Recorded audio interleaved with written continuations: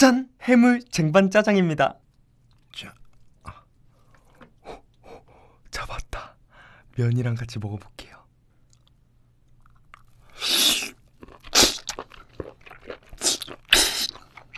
음.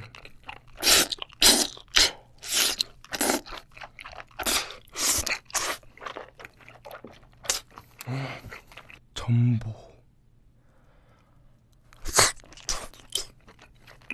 음.